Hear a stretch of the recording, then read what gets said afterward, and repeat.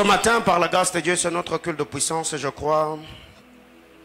Plus je serai en train de parler, vous vous rendrez compte pourquoi ce matin j'ai voulu que nous puissions célébrer le Seigneur comme nous venons de le faire. Et avant d'aller plus loin, je voudrais, par la grâce du Seigneur, honorer une grâce qui n'est plus à présenter au milieu de nous. C'est un homme de Dieu formidable, très formidable même. Beaucoup de choses à dire sur sa personne. C'est un ami de très longue date, très, alors très longue date. Un amoureux de la présence de Dieu, un homme humble, effacé, serviable. Je crois récemment, alors que nous étions en train de nous entretenir avec le pasteur Israël, nous nous sommes dit, le pasteur Patrick Carvalho, il a des choses à enseigner sur la loyauté dans cette génération. Il est parmi les hommes de Dieu très constant, dynamique, loyal, dévoué, attaché à son Père malgré le haut et les bas. Plusieurs sont venus et l'ont trouvé là. Ils ont été exposés, ils se sont fait de nom, ils ont gaffé, ils sont partis. Lui, il est resté. Ils sont venus, ils ont encore gaffé, ils sont partis. Lui, il est encore là. Toutes les fois où j'ai eu à parler avec lui, je n'ai jamais, alors jamais, entendu cet homme de Dieu se plaindre avec le nom de son Père dans sa bouche. Je n'ai jamais, alors jamais. On s'est fait des confidences, on parle beaucoup, on discute autour de nos pères. En aucun jour. Aujourd'hui, je crois, plus de 13 ans d'amitié, en aucun, je dis bien, en aucun jour. Mais ce qui m'a le plus choqué, c'est que récemment, on l'a appelé, on lui a dit, euh, on te confie l'église, porte des cieux, à Lubumbashi. Il a refusé. Il m'a dit, mon cher, moi, Dieu m'a appelé à être le serviteur des hommes de Dieu. Les jours où Dieu me dira, dirige une église, je le ferai. Je, qui? Ça m'a marqué. Lubumbashi n'est pas quand même une petite ville. Le prophète Joël Francis, l'église Porte des Cieux aujourd'hui, c'est parmi les églises que Dieu est en train d'imposer dans la francophonie. On lui a dit qu'on dirige l'église, il a dit non, vous envoyez quelqu'un. Moi, je peux travailler dans l'administration afin de servir cet homme-là. Il est le porteur d'armes. Et comme lui-même le dit, loyauté de Robomisaïe. Est-ce qu'on peut m'aider à recevoir le pasteur Patrick Carvalho? Merci de tout cœur. Merci. Merci pour la merveilleuse personne que tu es pour ma vie. Merci beaucoup. Je te prie, j'ai, j'ai tellement de choses à dire sur cet homme de Dieu. Et quand il m'a dit ça, je me suis dit, mais quel homme, quel cœur, quelle compréhension, quelle humilité. Par moments, personnellement, je trouve qu'il en fait un peu de trop. Mais vous êtes une des bonnes personnes, Patrick. Vous êtes une très bonne personne. Ma prière devant le trône du Seigneur est que Dieu nous garde et que nous puissions vieillir ensemble et que nous racontions ce que nous avons vécu dans notre parcours aux générations futures. Ce matin, par la grâce de Dieu, il est marié à maman Agathe Carvalho, avec qui ils ont deux merveilleuses petites filles, un homme de Dieu formidable que le centre missionnaire Manaïm aura à découvrir dans peu de temps. Un enseignant de haut calibre et un homme charismatique. Et je crois que d'ici peu, il sera dans nos murs afin de nous bénir par la parole du Seigneur. 1 Corinthiens chapitre 15, le verset 32. L'art de la guerre. 1 Corinthiens chapitre 15, le 32e verset. Merci, merci, merci. 1 Corinthiens chapitre 15, on peut s'élever pour honorer la parole de Dieu, s'il vous plaît. Merci beaucoup. 1 Corinthiens chapitre 15, le verset 32, vous y êtes? Vous êtes là? Alors on peut lire ensemble une, deux, trois go. Si dans de vues humaines que je combattis contre le bête à Éphèse, quel avantage m'en revient-il si les morts ne ressuscitent pas? Mangeons et buvons, car demain, nous mourrons parole du Seigneur. Je nous prie de reprendre nos places et que Dieu bénisse sa parole. Je salue tous les internautes, que Dieu bénisse abondamment tous les bien-aimés frères et sœurs. De partout, vous êtes en train de nous suivre. Que la grâce de notre Seigneur Jésus-Christ soit avec vous. Et je voudrais également ici bénir le Seigneur pour ce que j'ai vu hier euh, au concert organisé par euh, l'homme de Dieu Daniel Lubams. Daniel, que le Seigneur te bénisse abondamment. C'était très puissant. Quelle atmosphère de prière. Quelle soif j'ai vu hier. En tout cas, nous sommes fiers de toi et que le Seigneur bénisse abondamment ta vie et ton ministère. Nous bénissons le Seigneur pour ce qu'il fait, ton courage, ta détermination, ton sérieux. Que le Seigneur expose de plus en plus ta grâce et que ton parfum spirituel traverse les frontières. Si c'est dans des vues humaines que j'ai combattu contre le bête à Éphèse, c'est ce qui m'intéresse ici, que je combattu contre le bête à Éphèse, quel avantage m'en revient-il si les morts ne ressuscitent pas, mangeant et buvant, car demain nous mourrons Alors, depuis le début de ce mois, nous sommes dans notre série d'enseignements autour de notre thématique, l'art de la guerre. Et vous vous souviendrez que la semaine passée, nous avons dit que la plus grande arme du guerrier, ce n'est pas les armes physiques à sa disposition, mais c'est beaucoup plus son mental. Car tous ceux qui ont perdu des combats importants dans leur vie, combats importants, c'est que ces personnes ont d'abord commencé à perdre l'estime. Depuis un temps,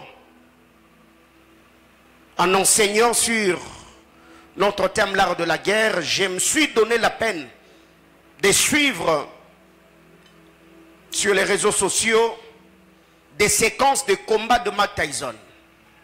Et j'ai fini par comprendre que ce guerrier, au-delà de sa vitesse, au-delà de son mental, c'est que Tyson savait pénétrer le cerveau ou le mental de ses adversaires pour le démoraliser psychologiquement. Déjà, le fait d'être devant lui, il te regarde avec les yeux d'un prédateur. Autrement dit, tu ne vas pas tenir. Et dès que tu regardes le regard de cet homme, automatiquement, tu peux perdre la confiance. Et quand il attaque, c'est sans relâche. Et nous avons récemment dit que le monde spirituel ne pardonne pas les ignorants. Le monde spirituel ne favorise pas les ignorants. Parce que ce que tu ignores, en fait, ne t'ignore pas. Il y a plusieurs personnes aujourd'hui qui ont vu leur destinée être retardée et ils pensent parce qu'ils ont beaucoup souffert que Satan aura pitié d'eux. Que la spiritualité ou le monde spirituel va le favoriser parce qu'ils ont beaucoup souffert. Et il y a plusieurs personnes également qui pensent parce qu'ils euh, n'étaient pas informés ou ils n'ont pas été exposés à telle ou telle autre réalité ou vérité spirituelle que les retombées derrière cette réalité ou cette vérité ne les atteindront pas. Et autre chose également, nous avons dit, quiconque n'élève pas sa sensibilité prophétique à la vitesse ou à la fréquence de ce que Dieu est en train de faire dans une saison, il peut connaître un retard dans sa destinée. C'est que quand tu es dans une église, apprends au moins à élever ta sensibilité spirituelle à la fréquence de la saison ou à la fréquence de ce que Dieu est en train de faire. Parce que Dieu en soi, Dieu n'est pas statique, Dieu est dynamique. Et il y a plusieurs personnes qui sont attachées à l'ancien mouvement de Dieu qui semblent être révolus. Et ceux qui combattent le prochain mouvement de Dieu, ce sont ceux qui ont eu l'expérience de l'ancien mouvement.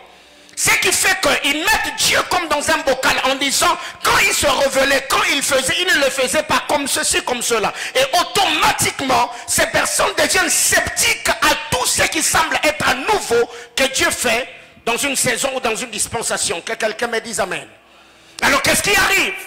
Ici, l'apôtre Paul est en train de parler de la résurrection de mort. Paul dit, si c'est seulement pour le manger et le boire, je n'aurais pas exposé ma vie à Éphèse en combattant contre le bête sauvage. J'ai fait beaucoup de recherches. Il y a plusieurs théologiens qui ont donné leur contribution sur ces. D'autres personnes ont dit ici, l'apôtre Paul était en train d'utiliser ces langages métaphoriques eh ben, pour expliquer que c'était la méchanceté des hommes de Fès, à l'instar de Démétrius qui s'était opposé à Paul. D'autres personnes sont en train de se poser des questions. Est-ce que Paul avait-il été exposé à des bêtes réelles où il a combattu? Et il y a d'autres personnes qui disent que le bataille dont Paul a livré, c'était le bataille spirituel. Parce que dans la ville d'Éphèse, il y avait beaucoup de divinités. Et Paul, quand il est arrivé, il est entré dans la guerre des divinités afin d'imposer le Seigneur par l'évangile de Jésus-Christ. Eh bien, nous prenons toutes les hypothèses. Je prends deux. Soit c'était une guerre spirituelle, soit c'était un combat. Départ, le méchant homme qui persécutait Paul ou qui cherchait à détruire sa vie. Mais allez vous rendre compte, dans toutes les hypothèses, ça tient. Parce que si c'était les hommes, c'est que ces hommes étaient animés par les esprits impurs ou encore des démons qui empêchaient à Paul de parler ou d'annoncer l'évangile de Jésus-Christ afin que la lumière du royaume puisse éclairer ceux qui étaient dans la ville d'Éphèse. C'est que vous allez vous rendre compte que la vie avec Dieu ou la marche avec le Seigneur, dès le premier jour où un homme entre dans le monde, le premier réflexe c'est pleurer. Autrement dit, Dieu vient d'entrer dans un champ de bataille. Parce que nous l'avons toujours dit dans cette maison d'alliance. Ah ben, la terre n'est pas une salle de jeu. Où nous jouons au PlayStation. Non. La guerre, la, la terre plutôt c'est un champ de bataille. Si tu n'es pas un prédateur, tu seras une proie. Et même quand un enfant vient au monde, si l'enfant ne pleure pas, les femmes accouchées seront obligées de gifler l'enfant. Comment est-ce que toi tu viens sur terre avec tout ce qu'il y a comme réalité ici, tu es calme? Il faut marquer au moins ta présence. Il faut pleurer. On doit sentir que tu es là. Alors il y a des gens aujourd'hui qui n'ont pas encore compris jusqu'au-là que la vie en soi, pour avoir une vie au standard élevé, il ne suffit pas seulement de parler. Parce que nous avons dit, le diable combat Dieu en combattant le plan de Dieu au travers de l'homme. Satan n'attaque pas Dieu indirectement. Il attaque Dieu indirectement en attaquant le plan du Seigneur dans la vie de l'homme. Et dès les jours où je reçois une révélation, que le Seigneur a un plan avec ma vie, parce que nous l'avons toujours dit sur terre, nous ne sommes pas venus en tourisme. Tu n'es pas touriste sur la terre. Tu es un programme de Dieu et tu es porteur du programme de Dieu. Et quand le diable t'attaque, eh ben, il attaque afin de fragiliser ou de retarder le programme du Seigneur dans ta vie. Alors, nous avons dit, poser beaucoup de questions. Ce qui fait que le diable nous résiste. Il y a beaucoup de choses, faute de temps, je ne saurais pas revenir là-dessus. Mais le vendredi, nous avons partagé la parole du Seigneur. Nous avons partagé autour de comment connaître la volonté de Dieu. Nous avons parlé de la méditation de la parole de Dieu. Nous avons parlé de la voix prophétique. Nous avons parlé de l'observation, l'analyse des faits, des événements. Nous avons parlé de songes. Nous avons parlé de circonstances. Autre chose, nous avons dit, ignorer son identité en Christ peut faire que Satan te résiste. Quand tu ignores l'identité ou la position que tu as en Christ peut faire que Satan t'ignore. Satan plutôt te résiste. Et cette ignorance, nous avons dit, ça peut engendrer de paradoxes. Nous avons également dit que l'ignorance peut te maintenir dans le lien. Tu souffres parce que tu es ignorant. C'est pour cette raison d'ailleurs que quand l'apôtre Jacques parle du Seigneur, il appelle le Père de la lumière. Quand le Seigneur arrive, il amène la lumière. Et nous avons également dit pour ce matin, je vais ajouter deux, trois petites choses, après nous allons passer à autre chose. L'ignorance produit le contentement et la lumière produit la révolte. Quand quelqu'un est ignorant, l'ignorance va produire le contentement. Ou tu vas te contenter de ce que tu vis. Tu vas te contenter des miettes que tu as. Pourquoi? Parce que tu es ignorant. Pourquoi tu es ignorant? Et c'est quoi cette ignorance? Tu ne connais pas seulement le plan de Dieu pour ta vie. Bien-aimé dans le Seigneur, tous ceux qui ont eu accès à la révélation ou à la lumière du royaume, quand nous recevons la révélation, la révélation va produire la révolution. Et dès il y a la révolution, la révolution nous amène directement dans le combat spirituel. Pourquoi nous devons batailler Afin de vivre ce que le Seigneur nous a dit ou nous a donné comme révélation dans sa parole, par la voix prophétique, dans les songes ou par, par tout ce moyen qu'il a utilisé pour nous atteindre? Alors quand vous lisez la parole du Seigneur, c'est l'histoire de Bartimée. Cet homme était là. Tous les jours de sa vie, Bartimée était là. Il mendiait. Bartimée, fils de Timée. Il était en train de mendier. Un jour, le Seigneur est en train de passer. Et Bartimée a posé la question. Qu'est-ce qui se passe? On lui a dit, c'est Jésus qui passe. Sur les champs, Bartimée reçoit une révélation dans son esprit. Il se met à crier, Jésus, fils de David, ayez pitié de moi. C'est lui qui ne voyait pas, a reçu par l'Esprit de Dieu la révélation de celui qui passait. Mais ceux qui voyaient le traitaient comme le fils d'un charpentier, le traitaient comme un imposteur, alors que c'est lui qui avait les yeux fermés. Quand Dieu a ouvert ses yeux spirituels, il a pu voir ce que Christ était. Il a dit Jésus, fils de David, ayez pitié de moi. Je n'ai pas le temps d'entrer en ça. Mais au moins retenons que quand nous recevons la lumière du royaume, la lumière va produire la révolution. Tout est révolutionne. Ça n'est assez. Je suis fatigué de vivre ces choses. Alors qu'est-ce que je dois faire? C'est pas te lamenter, c'est pas te morfondre. C'est payer maintenant le prix dans la prière. Afin que la main puissante agissante du Seigneur se manifeste. Une autre chose. L'ignorance peut te maintenir dans le statu quo. Ça peut te maintenir dans le statu quo. Tu ne bouges pas. Tu restes là. Tu es bloqué. Parce que tu ignores. Bien aimé dans le Seigneur. Lisons la parole. Scrutons les Écritures. Prions. Jusqu'à ce que la lumière du Seigneur puisse luire dans votre vie. Alors ce matin, par la grâce de Dieu, je reviendrai sur ces choses la semaine. Dieu aidant. Je vais parler des armes. Au-delà de ce que nous avons dit dans Ephésiens chapitre 6, je vais parler de quatre ou cinq choses ce matin et nous allons prier le Seigneur. Les armes que l'on peut utiliser dans le combat spirituel ou les choses à faire dans le combat spirituel. L'apôtre Paul a parlé le casque du salut, le bouclier de la foi, l'épée de l'esprit, ceinture de la vérité.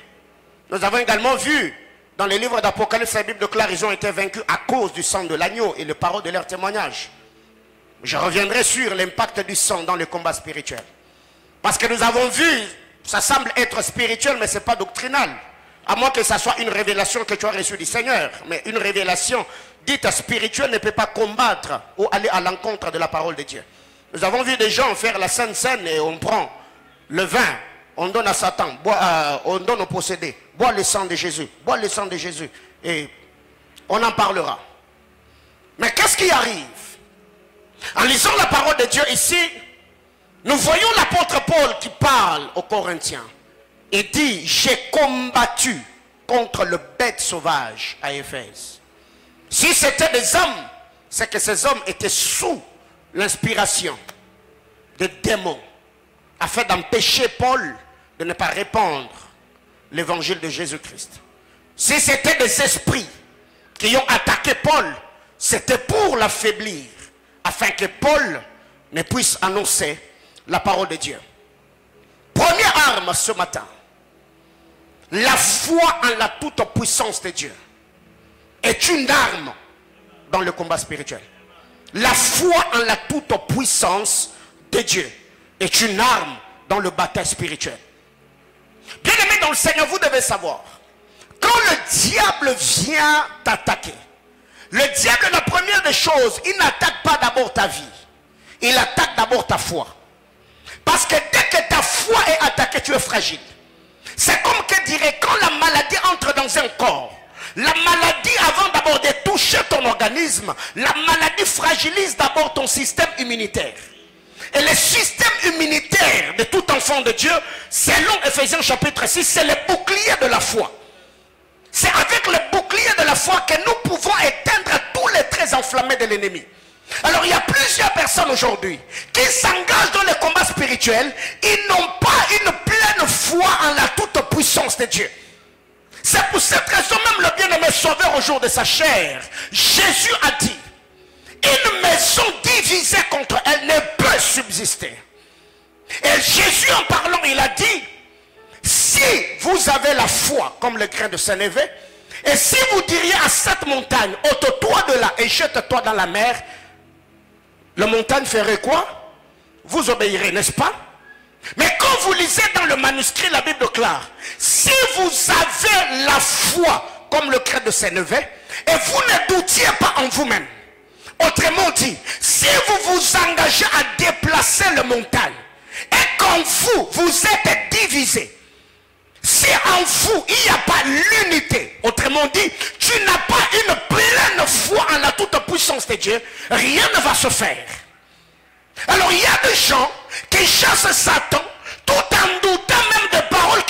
de leur bouche.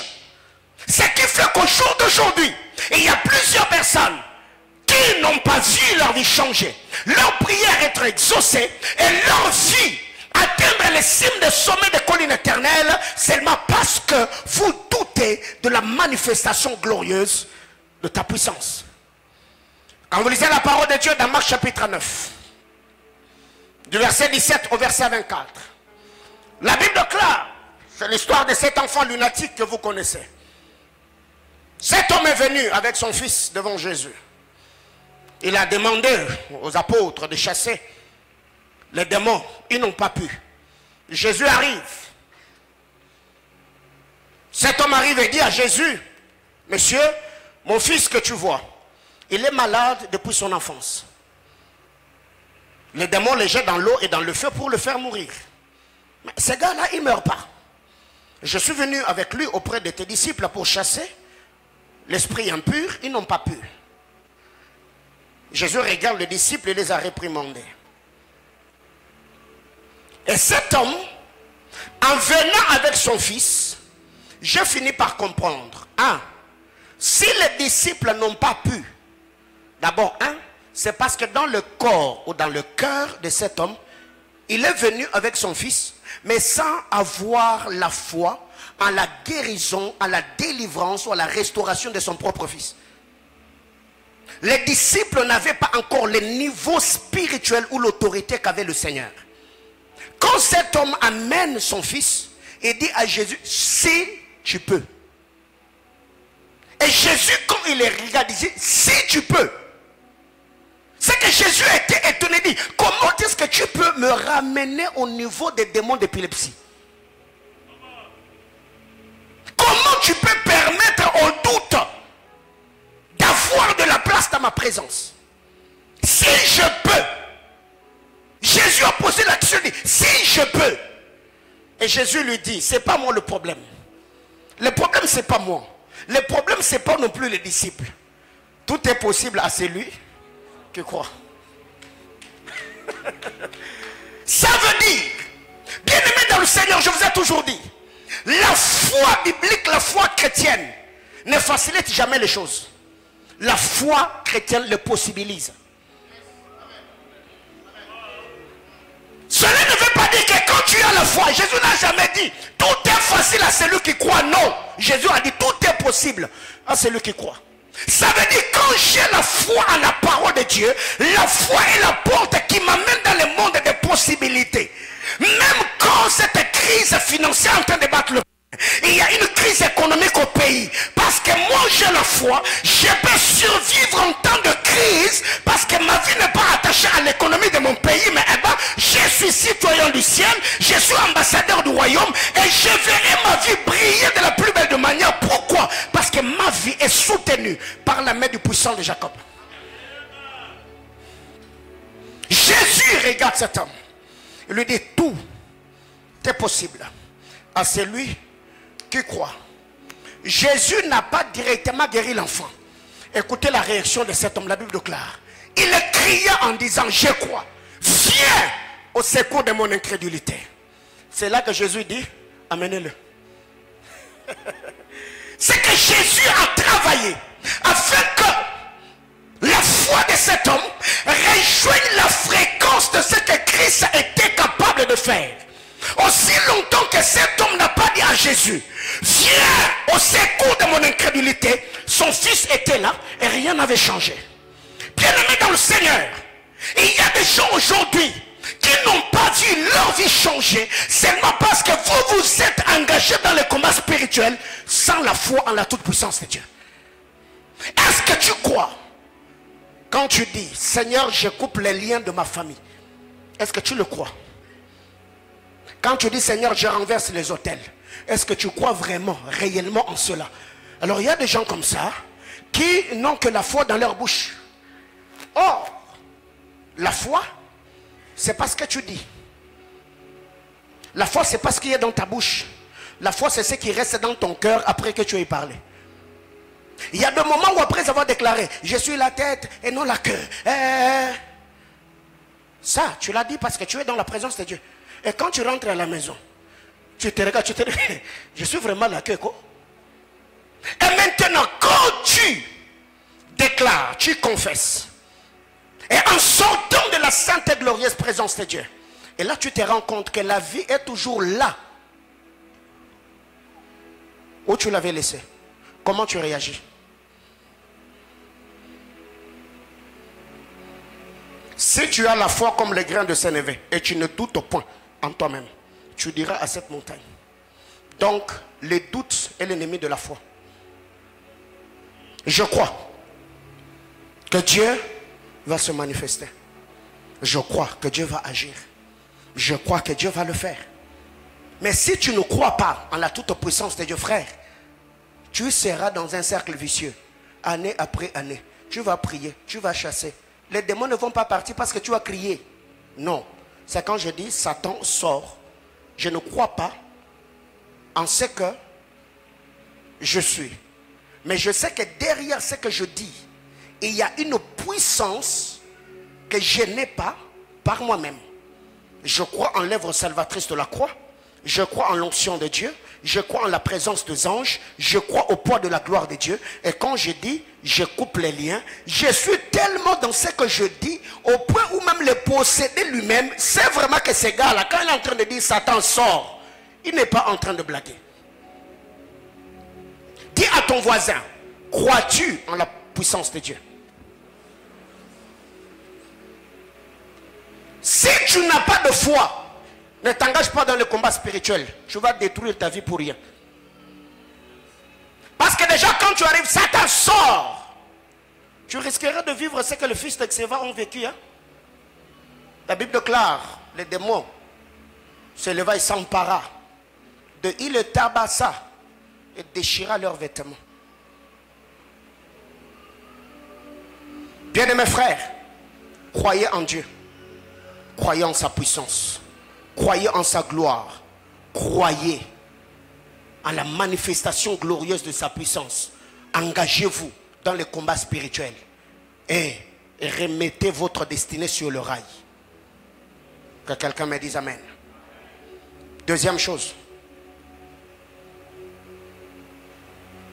la prière. Il faut prier. Luc chapitre 22, le verset 31. Il faut prier. Luc 22, 31. C'est une histoire que nous connaissons. Le Seigneur dit, Simon, Simon, Satan vous a réclamé pour vous cribler comme le froment. Mais je priais pour toi, afin que ta foi ne défaille point. Et toi, quand tu seras converti, affermis tes frères. Simon, Simon, Satan vous a réclamé. Pour faire quoi? Pour vous cribler comme du froment. Mais moi, je fais quoi? Je priais pour vous ou je priais pour toi? Je priais pour toi. La prière. Jésus va à la montagne. Il est en train de prier. Papa, papa, papa, papa, papa. Satan arrive. Il réclame les disciples. Autrement dit, il dit à Jésus, toi tu es venu chercher l'onction pour accomplir ta mission. Mais les autres là, livre-le-moi, donne-le-moi. Mais Jésus, quand il regarde les autres, Jésus comprend que si Satan réclame les disciples pour les cribler, si je priais pour l'un d'entre eux, les autres seront épargnés. Seigneur, quand le diable vient attaquer ta vie, tu peux regarder autour de toi que tout est bloqué. Dans ce qui est bloqué, tu peux cibler une chose. Et tu sais que si Dieu restaurait ceci, tous les domaines de ma vie seront restaurés. Quelqu'un comprend de quoi je parle? Ce qui fait qu'il y a plusieurs personnes, quand ils se tiennent devant le Seigneur, quand tu regardes, tu as besoin du mariage, tu as besoin de travail, tu n'as pas de finances, tu n'as pas ceci, tu n'as pas cela. Bien aimé frère, regarde dans tout ce que tu n'as pas. Qu'est-ce que tu as réellement besoin qui peut devenir la porte qui va, ou la clé qui va ouvrir tous les restants de portes de ta vie? Les disciples sont là. Satan vient auprès du Seigneur et dit, donne-le-moi. Mais j'aime ce que Jésus dit ici. Jésus dit, Simon, Simon. Jésus n'a pas dit Pierre, Pierre. Parce que Pierre est l'identité spirituelle. Simon est l'identité physique ou charnelle. Simon, c'est les roseaux. Quelque chose d'instable. Pierre, Petros, le roc. Ce qui est stable. Mais quand Jésus regarde Pierre, il dit, Simon, toi roseaux, toi l'instable, Satan vous a réclamé, vous le Matthieu et les autres. Mais je sais que la force des autres est en toi. Alors moi j'ai réclamé, j'ai prié pour toi. J'ai dit à Satan que Satan ne te prenne pas. Même si les autres, Satan les récupérait. Je sais que si je te conserve toi, je peux récupérer ce que Satan a pris par toi. Alors, au lieu de prier pour tout le monde, moi je priais pour toi afin que ta foi ne défaille point. Alors toi, quand tu seras mûr, affermis les autres. Bien aimé dans le Seigneur, il y a plusieurs personnes aujourd'hui, quand ils se mettent devant le trône du Seigneur pour leur vie, tu te rendras compte, ils n'ont pas aussi le fardeau de leur vie dans la prière, comme ils le font en racontant même dans les moindres détails ce qu'ils vivent à d'autres personnes. Il y a des gens aujourd'hui, qui peuvent entrer dans ton bureau, il te prend une heure du temps en train de te raconter sa vie. Mais tu lui poses seulement la question. As-tu eu suffisamment le temps de prier pour ce problème? Il te dit, pasteur, je suis fatigué. Hein? Tu es fatigué. Fatigué pour prier, tu es fatigué. Mais pour venir dire au pasteur tes problèmes, là tu as la force. Et même si tu venais, tu me disais tout ce que tu as comme problème, je t'enverrai où? Dans la prière. Et même si moi-même, je dois intervenir, je te dirai, laisse-moi le temps de, de prier. Alors, au lieu d'exposer tes problèmes, fais quoi? Prie. Et je vous ai toujours dit, un homme de prière n'est pas celui qui prie. Un homme de prière est celui qui est lui-même devenu une prière. Et on n'apprend pas à prier en lisant des livres qui parlent de la prière. On apprend à prier en fléchissant les genoux en faisant quoi? En priant. Ce qui fait qu'il y a plusieurs personnes qui ont beaucoup de principes qui parlent de la prière, mais eux-mêmes n'ont pas de vie de prière. Bien aimés frères, nous quand on a commencé à prier, on ne lisait pas de livres, nous on nous a appris à prier en priant. Quelle est la dernière fois où tu t'es tenu devant l'autel de Dieu? Tu y as prié pour ta vie jusqu'à ce que tu y as senti vraiment qu'aujourd'hui j'ai prié pour ma vie. Satan, votre adversaire, rôde comme un lion rugissant. Il cherche à qui dévorer. Ton adversaire, Satan, le diable, il travaille jour et nuit. Changeant de stratégie juste pour t'avoir. Mais toi qui es conscient que tu es exposé à un bon nombre de choses, tu négliges la prière. Pierre, Satan vous a réclamé pour vous cribler. Ça veut dire d'ailleurs même la dimension que tu as de Simon, Roseau là, le diable veut encore t'anéantir plus. Il veut te cribler comme du froment. Tu vois déjà? Donc le froment, c'est déjà. Mais le diable te prend déjà dans ta dimension de froment là. Il te crible encore. Pour t'amener à devenir quoi? Déjà toi-même quand tu regardes ta vie là, tu as pitié. Mais déjà dans la pitié que tu as de ta pitié là, le diable vient encore dans cette vie là. Il t'enfonce encore. Le diable n'est pas ami de quelqu'un. C'est pas parce que tu es orphelin que le monde spirituel aura pitié de toi. Non. Si tu n'es pas prédateur, eh ben, tu seras une proie. Le Seigneur dit Simon, Simon, Satan vous a réclamé. Il vous a réclamé, vous là, il vous a réclamé pour vous cribler comme le froment. Mais j'ai prié pour toi. Bien mes frères, ce qui a aidé Simon à ne pas tomber dans le piège de l'ennemi, c'était la prière de celui que le Seigneur avait placé sur sa vie. Il y a des gens aujourd'hui qui se voient tellement importants parce que tu vois ce que tu fais fleurir.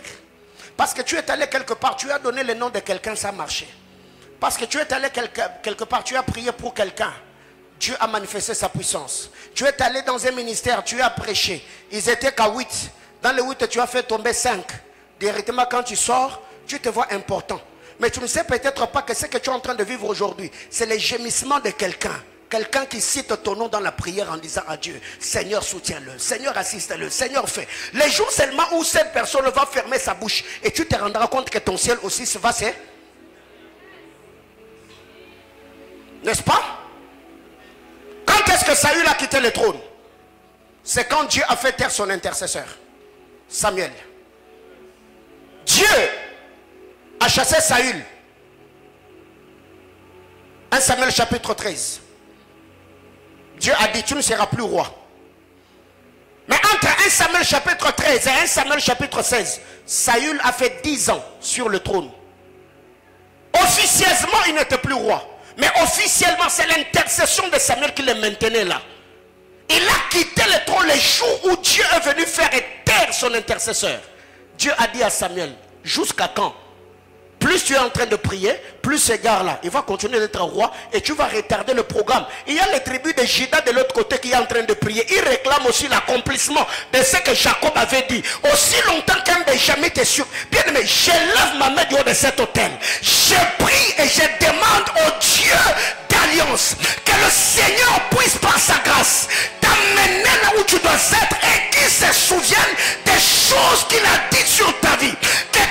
De ténèbres qui oppresse ta vie, qui attaque tes finances, qui attaque ton mariage, qui déstabilise ta famille. Je prie et libère cette parole de grâce sur ta vie.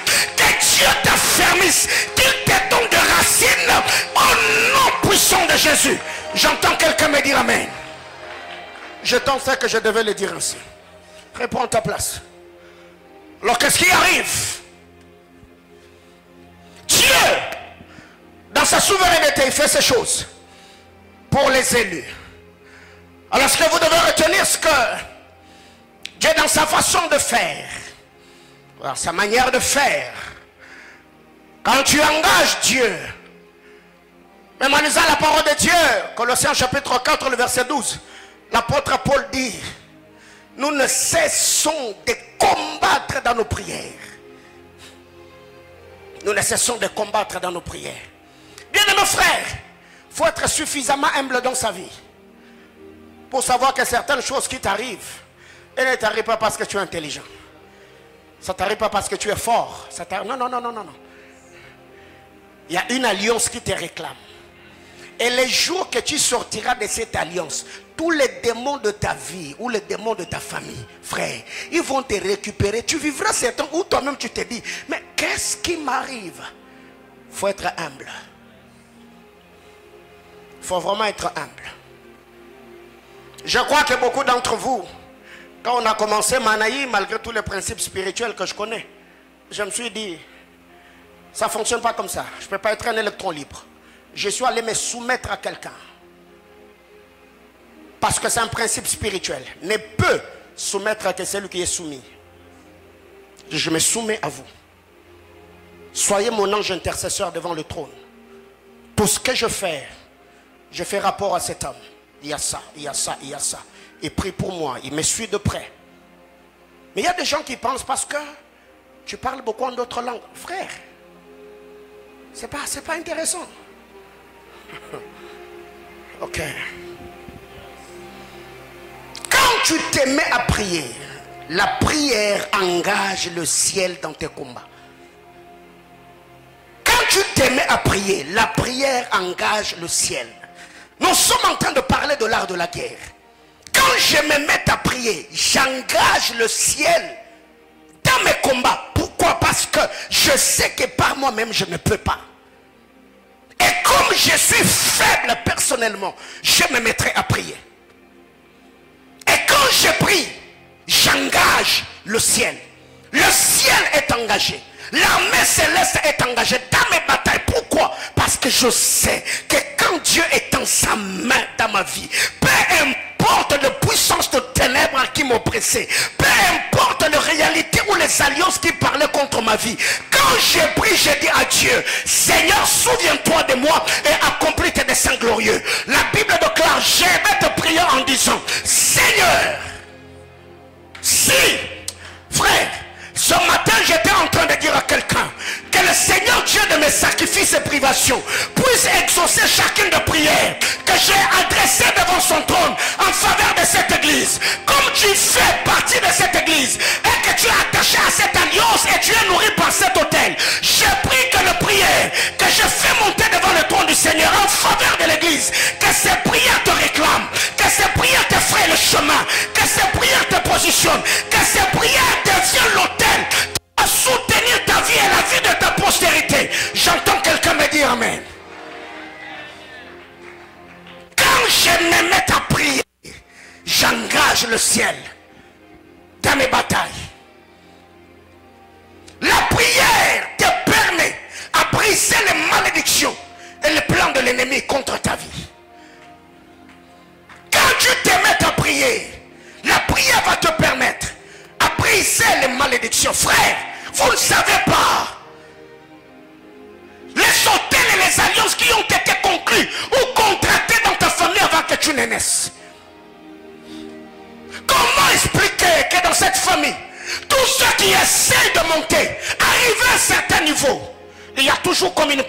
réclame.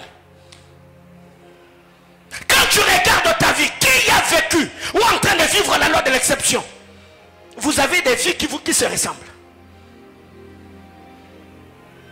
Mais quand tu te mets à prier, l'on s'affirme que la sonne déclaré la zavache. Ripler de la conti de la sonne de cliver de la varalostamia. Abba Père dans le nom de Jésus. Quand tu te mets à prier par la prière, frère, tu brises les malédictions. La prière détruit les plans de l'ennemi. Je me tiens du haut de cet hôtel et je prie que toute main noire qui est derrière le problème qui t'arrive, je décrète et déclare ce matin,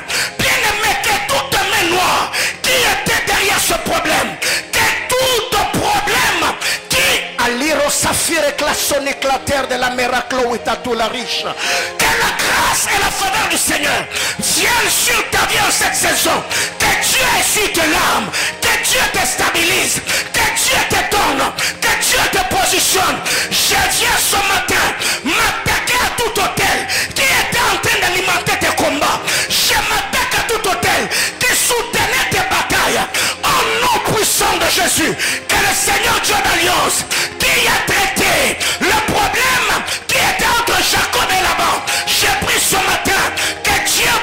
prononce ses verdicts, que Dieu se prononce sur ta vie, qu'il mette fin à tout problème et toute réalité.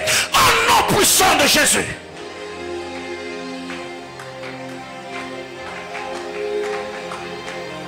Tu es courageux. Tu es battant. Mais quand tu regardes tout ce que tu fais, tu es dans un cercle vicieux. Ta vie est en dents de scie. Tu montes, tu descends. Quand tu fais trois pas devant, c'est pour en faire six en arrière. Non, non. Il y a une force négative qui te réclame et qui te tire derrière. Bien-aimé frère, alors ce matin, je viens engager les alliances spirituelles.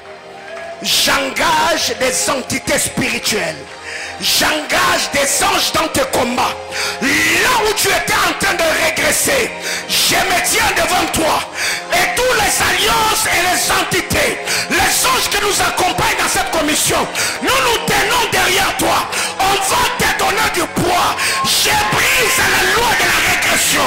Je brise la loi de la stagnation. Je brise la loi du cercle vicieux. Que Dieu te propulse.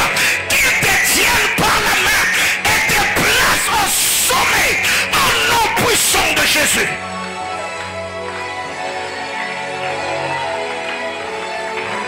Tu ne feras plus de surplace. Ta vie ira de gloire en gloire. Je donne à ta destinée une vitesse vertigineuse, une vitesse accélérative. Qu'un vent nouveau puisse souffler dans ta vie. Reçois cette parole de grâce au nom puissant de Jésus.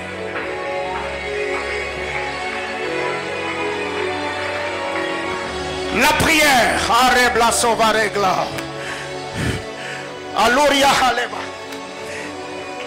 La prière met à jour les plans de Dieu pour ta vie. Là où les choses semblaient être bloquées ou retardées, quand tu te mets à prier, la prière met à jour. La prière devient le logiciel qui crée des mises à jour dans ta destinée. Bien-aimé dans le Seigneur, quand un homme reçoit les promesses, tu peux regarder les choses que Dieu t'a dites et ce que tu es en train de vivre. Tu te dis, mais non, ça c'est paradoxal et contradictoire. Alors comme je ne vis pas l'accomplissement des desseins de Dieu, je me mets à prier. Rakla il retene les merailles, labra sur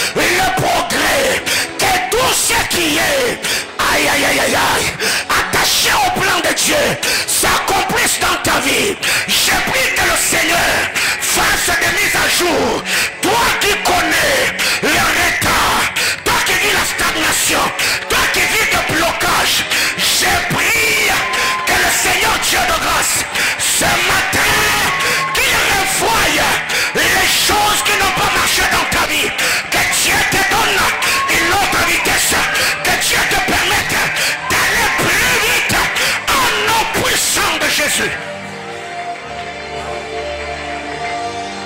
prière. La prière. Quand tu te mets à prier, la prière te donne du poids spirituel. Et te donne accès même aux choses que tu ignorais. Je me mets à prier, je ne sais pas des choses qui ont été faites dans ma famille. Peut-être il y avait une loi qui disait que tous ceux qui vont se marier, ils ne feront jamais 10 ans dans les mariages. Et toi, tu te rends compte que les choses commencent à basculer. C'est par la prière que Dieu peut te donner du poids afin d'abolir cette malédiction. Et tu peux avoir accès au conseil de Dieu où Dieu va te donner de révélations sur les hôtels qui soutenaient le combat qui... Aïe aïe aïe. Ale maretofalisha. Aragamahali aradovahafe. Lirasumaharadalamahai. Labrasuraneleme atevaso. Librasumaranania atelivaya. Labrasmera labaate. Interedeleme aya. Ayarusha labaha. Ureteneleme haya. Labrasuraneleme haya. Ureteneleme haya. Rakat mehaya. Rakatala la basha. Urebeka hasete. Untere dele mea. Aïe aïe aïe aïe aïe l'atmosphère de prière dans la maison. Les bras suradia. Atevariatura mahaya. Les bras serrés de la meshai. Ratura de la mahaya. Zataha. Uretene le mekohasa. Yarus katalabaha. Les bras surana la maya. La prière. La prière. La prière. Les bras sania. Iretene le mehaya. Je ne vais pas subir. Libre surania. Je change les donnes par la prière. Les souverains de cas. Les sommeries prarilosania. Les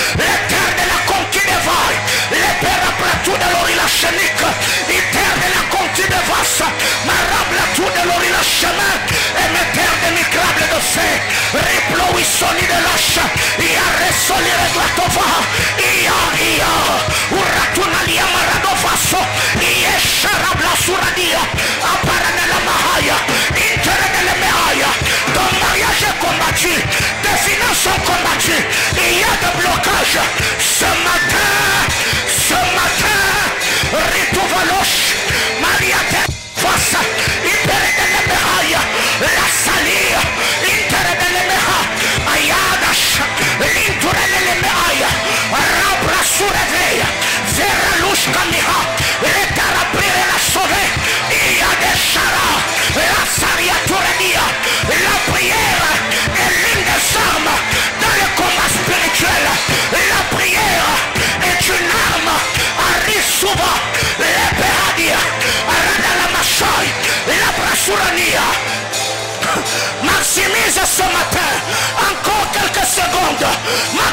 ce matin.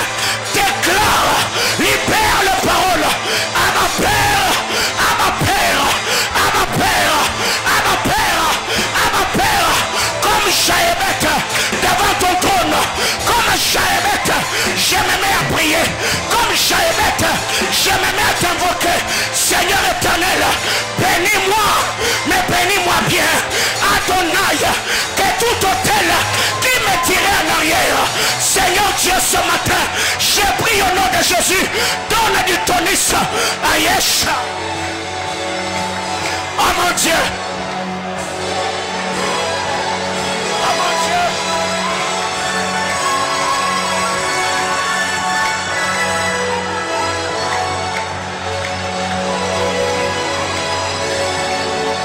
Dieu.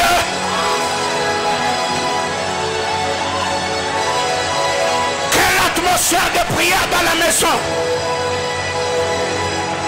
Quelle atmosphère de prière dans la maison.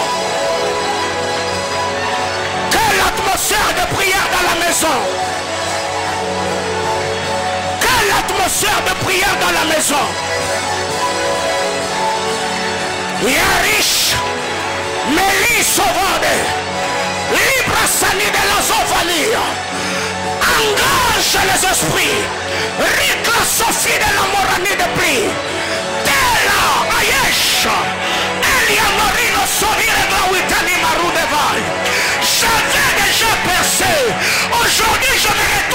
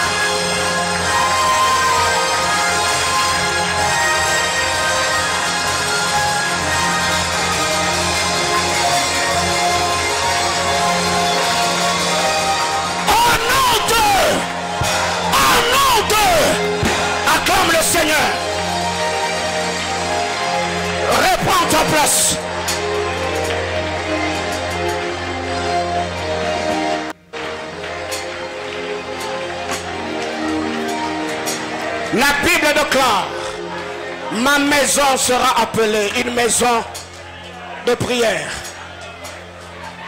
Dernière chose ce matin.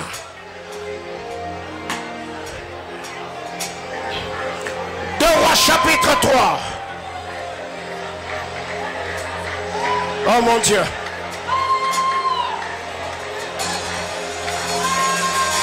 Deux rois chapitre 3. Le verset 26 et le verset 27. Deux rois chapitre 3. Le verset 26 et le verset 27. La Bible déclare. Le roi de Moab, voyant qu'il avait les dessous dans le combat, il n'avait pas les dessus. Il avait les dessous dans le combat. Prit avec lui 700 hommes tirant l'épée pour se frayer un passage jusqu'au roi des hommes. La Bible déclare, mais il ne les purent pas. Le verset 27. Alors il prit son fils premier-né, qui devait régner à sa place, et il l'offrit en holocauste sur la muraille. Et une grande indignation s'empara d'Israël, qui s'éloigna du roi de Moab et retourna dans son pays. Bien-aimé ce matin, une autre chose, comme arme engagée dans le combat spirituel, il faut apprendre à engager Dieu dans tes combats par les offrandes. Il faut engager Dieu dans tes combats par les offrandes.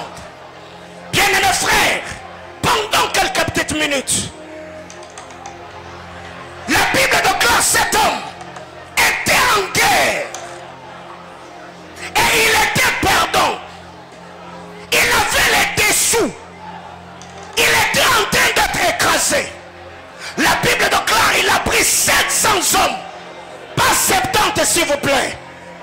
Pas 7 hommes. Non, 700 hommes. Parmi les hommes qui tiraient l'épée. Parmi le guerrier, le vaillant de son armée. Il cherchait à s'effrayer le chemin pour attaquer le roi. Parce qu'il savait que pendant le temps de guerre, si le roi tombe, tous ceux qui sont avec le roi vont perdre le courage. La Bible déclare, il ne pure pas. Et quand il voit, il n'a pas pu un, atteindre le roi. Deux, il était en train de perdre. La Bible déclare, il est allé prendre son fils. Qui devait le succéder Il est monté sur la muraille. Il a dressé l'autel. Il a pris son propre fils. Il l'a mis sur l'autel. Il a brûlé. Et quand ceux qui ont vu la chose, la Bible déclare, il eut une grande indignation. La guerre s'est arrêtée.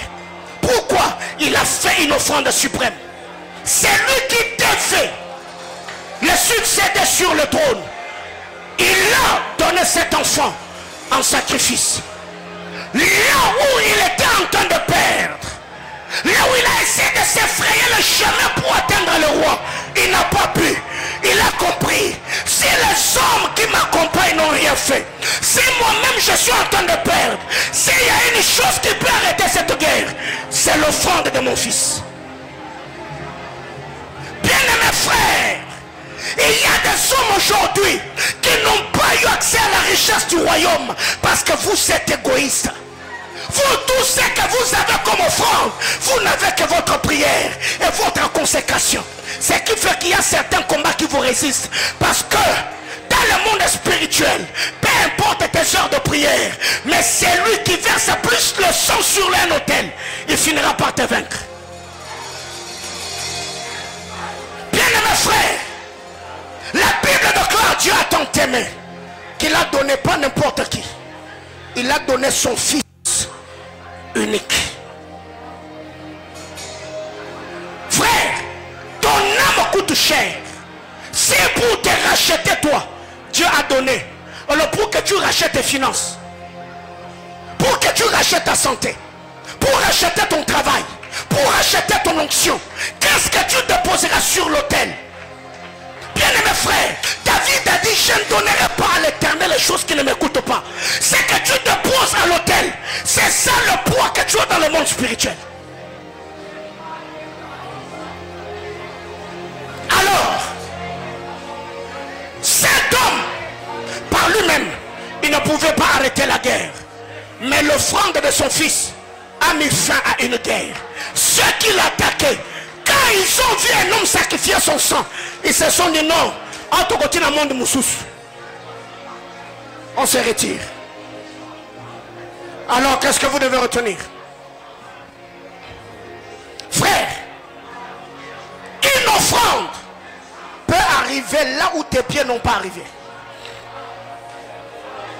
Une offrande peut arriver là où tes pieds n'ont pas arrivé. Une offrande peut te faire arriver là où tu n'as jamais foulé tes pieds.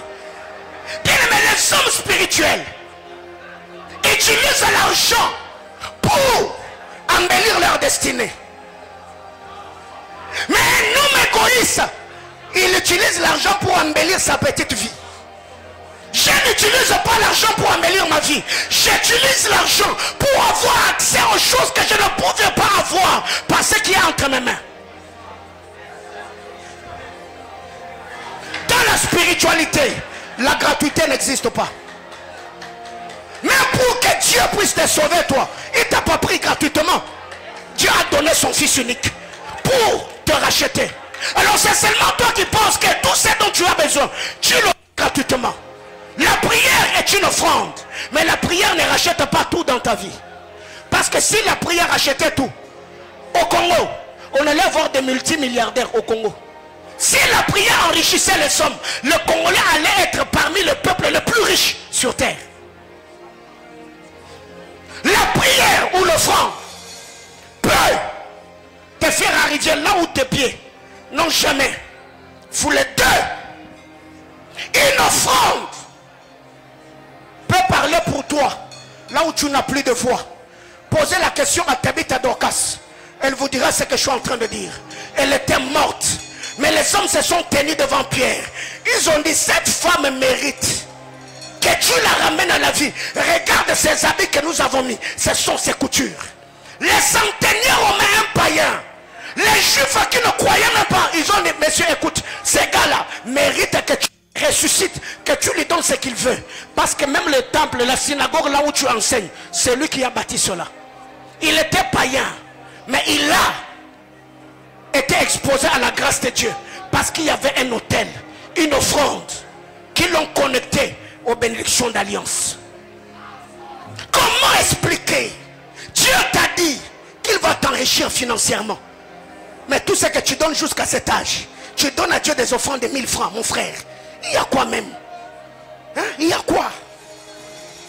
Et ces gars-là qui te combattent au boulot, lui quand il va de l'autre côté, il donne plus des sacrifices. On demande des chèvres, on demande des poules, et ils font des sacrifices. Mais c'est seulement... Bien, mais écoutez, il y a des choses par moment quand ça, ça, ça traverse ma tête, je me dis, qu'est-ce qui ne va pas avec le chrétien?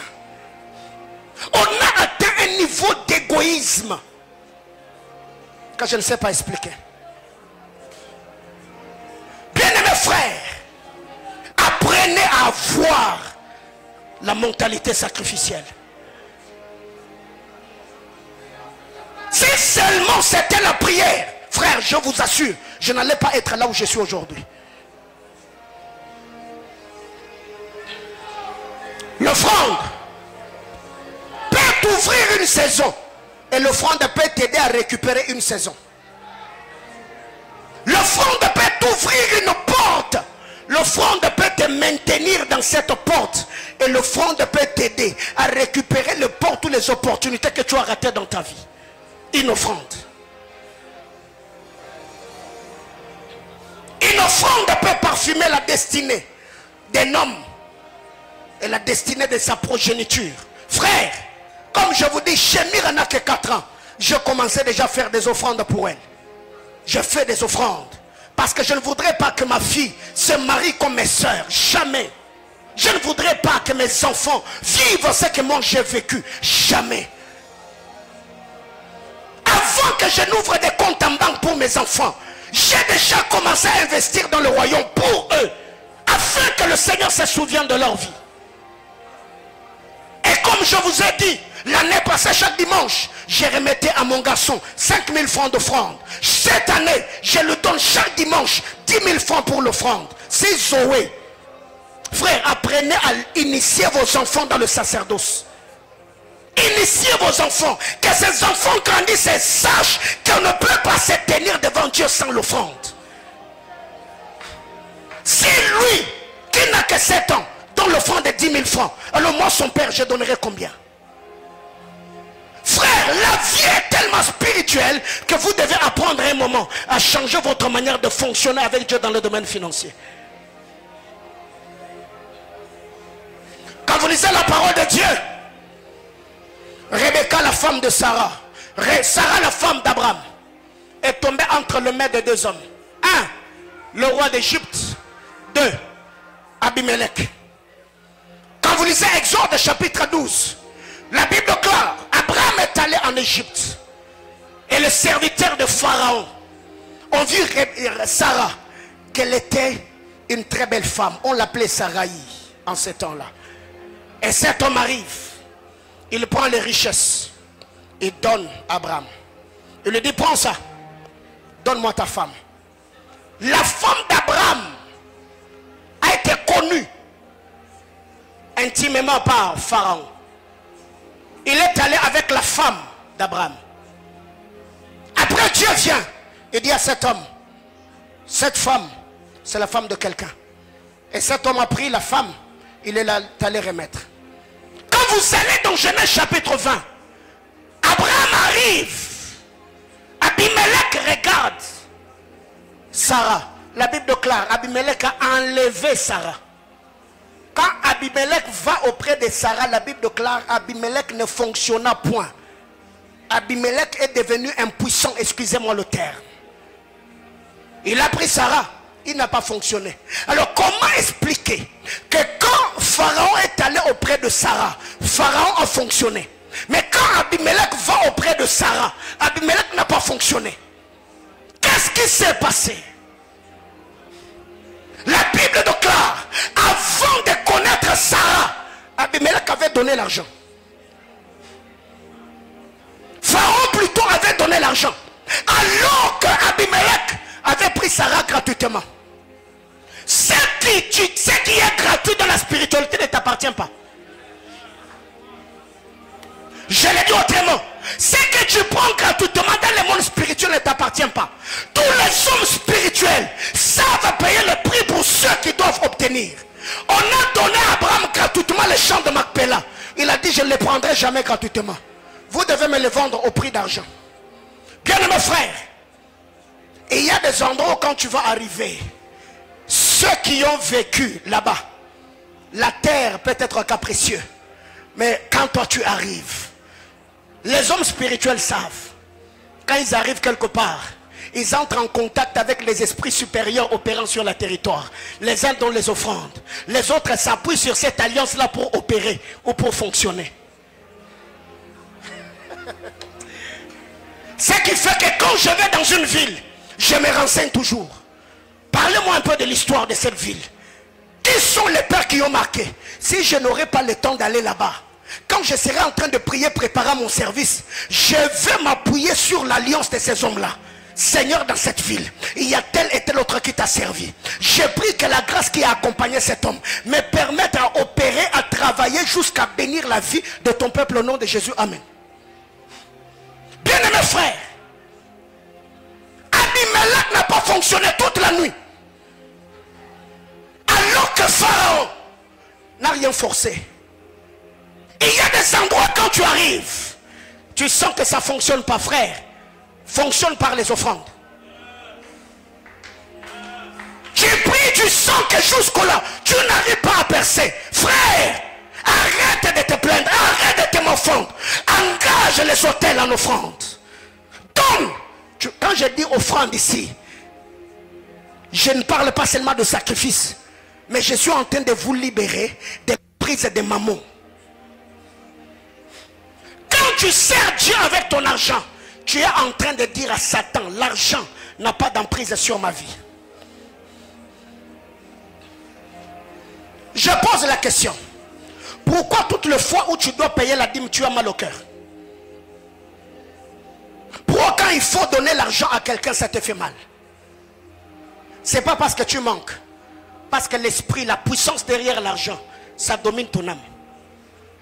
Un homme qui est fidèle dans ses dîmes et qui sert Dieu libéralement avec ses biens, ça prouve à suffisance que son cœur n'est pas attaché à l'argent. Il utilise l'argent pour atteindre les objectifs que Dieu lui a assignés sur la terre des hommes.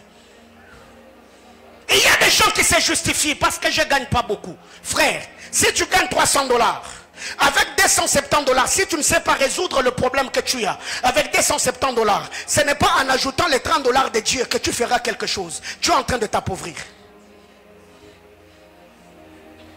Mon épouse est là.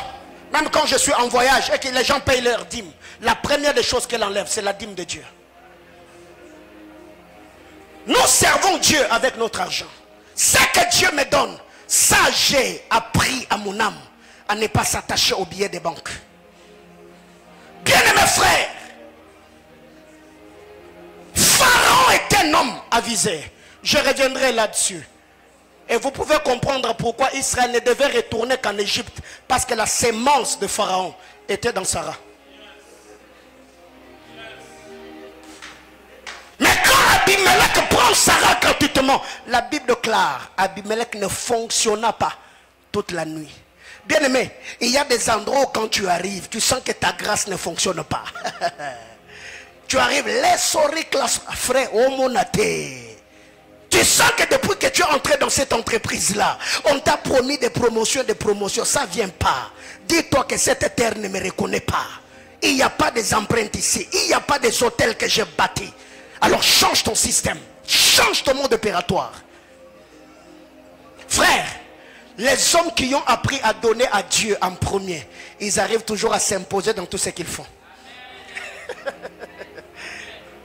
Ça, c'est ma façon de faire. Quand j'ai besoin d'une chose, je donne en premier. Je roule avec une Jeep de 16 000 dollars achetée à 100 dollars.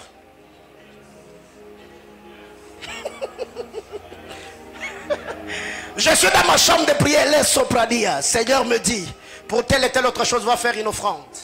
Je vais, je prends 100 dollars, je fais une offrande.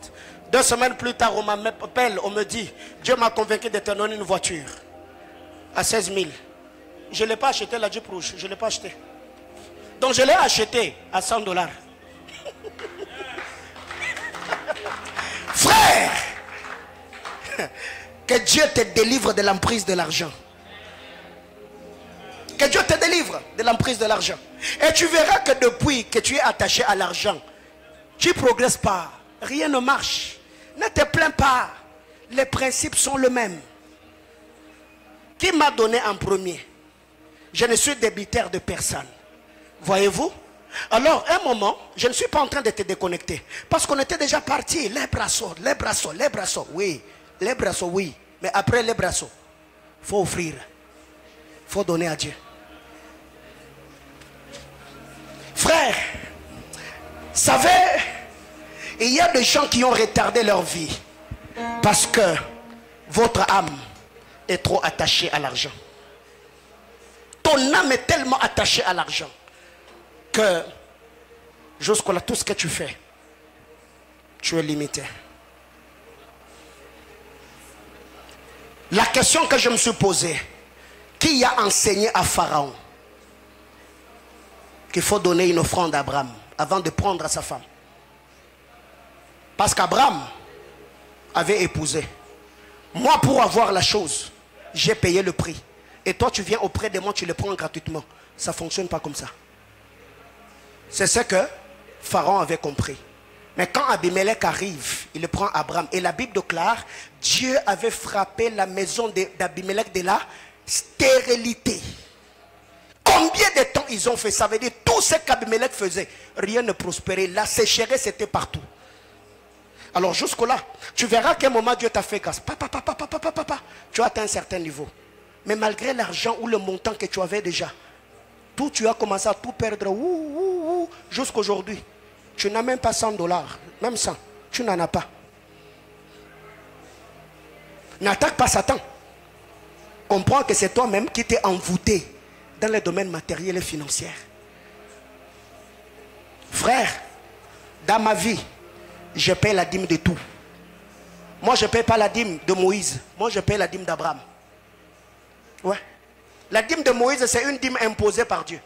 Mais la dîme d'Abraham, c'est une dîme de libéralité. Qui avait enseigné à Abraham de comment payer la dîme? Personne. Mais tout était inscrit dans, le cœur d'Abraham. Tout ce qui tombe entre mes mains, je paye la dîme. Et je peux dire à l'église tout haut, je n'ai pas de soucis financiers. Dieu prend soin de moi. Et dans cette église, personne ne me dira, même ceux qui sont avec moi depuis que je suis dans cette ville, personne ne me pointera des doigts et me dire que je l'ai déjà interpellé. Ou je l'ai déjà appelé la fin de mois pour dire, je n'ai pas vu ta dîme. Personne. Commençant par des serviteurs et des servantes qui sont ici. Personne, je ne l'ai jamais fait. Parce que je sais comment je fonctionne avec Dieu dans les domaines matériels et financiers. 4 ans, 5 ans, voire même 10 ans de vie chrétienne, tu as encore besoin qu'on t'interpelle sur les offrandes. Mon frère, tu as un problème.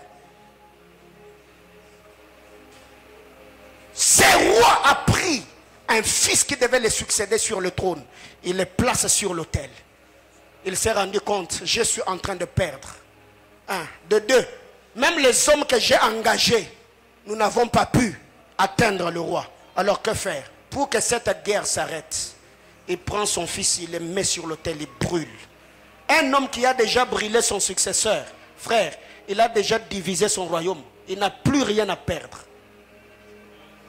Que vous m'attaquez, que vous me tuez. Si déjà le successeur sur le trône, je l'ai déjà brûlé. Est-ce que le royaume en question existe encore? Non. Alors attaquez-moi, achevez-moi.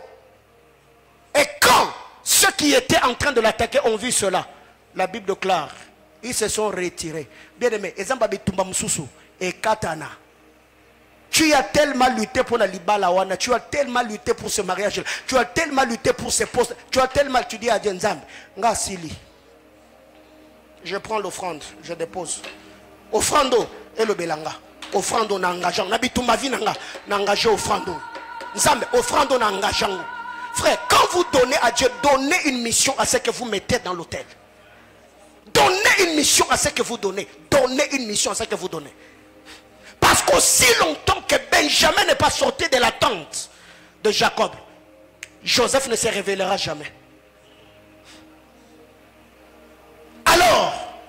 Que je dois faire Garder celui qui s'appelle Benjamin, le fils de ma droite, ou récupérer celui qui est le fils de la droite de Pharaon. Si tu ne sais pas libérer le fils de ta droite, tu ne retrouveras jamais le fils qui est à la droite de Pharaon, Joseph. Il y a des choses qui vous résistent parce que vous ne savez pas engager les esprits dans les domaines des offrandes. Je reviendrai là-dessus le mercredi. Que Dieu nous bénisse abondamment.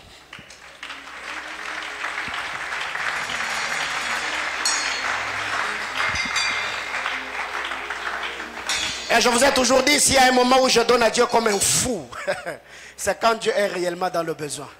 Il y a des saisons, tu sais, vous m'avez dit, Seigneur, n'allez Dieu a dit à Abraham, je sais que c'est pour ça que tu es passé par ici. Yo tambola pas en pambate. Kiawa. Parce que ça anzala. Vanda. Mange. Abraham a versé le sang pour nourrir Dieu. Dieu lui dit, l'année prochaine, à la même époque, je reviendrai. Dieu avait menti. Parce qu'on n'a pas vu un endroit où Dieu est revenu dans la maison d'Abraham. Dieu était représenté par Isaac. Isaac est une preuve de la fidélité de Dieu. Dieu a dit l'année prochaine, je reviendrai. Est-ce que Dieu était revenu? On n'a rien vu. Un endroit où Dieu est venu, il a dit à Abraham, je t'avais promis, non? Non. Isaac était devenu l'ambassadeur du royaume. Quand je vois Isaac, je me dis, Nzambe yeyu. Nzambe wala kinga ya yeyu. Nzambe yeyu. Nzambe yeyu. On était déjà debout, on a beaucoup prié. Ce matin, je voudrais ici prier pour quiconque sent qu'il a du mal à servir Dieu avec son argent. Ce matin, C'est l'instruction que Dieu m'a donnée. Tu as du mal à servir. Tu sens que tu es lourd. Quand on parle argent, toi, ton âme, tu as du mal. Il y a des gens comme ça. Baby. Nakati atmosphère. Tu as du mal à servir Dieu avec l'argent. Tu as du mal à donner à Dieu des offrandes. Tu as du mal à écouter Dieu quand Dieu te parle d'argent. Tu as du mal à payer ta dîme. Passe devant, on va prier.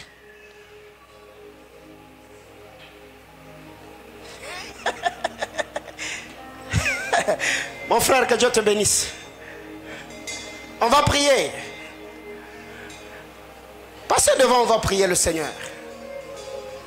Pensez que c'est en vain que Dieu m'a donné cette instruction? Non, il y a une grâce particulière qui va couler.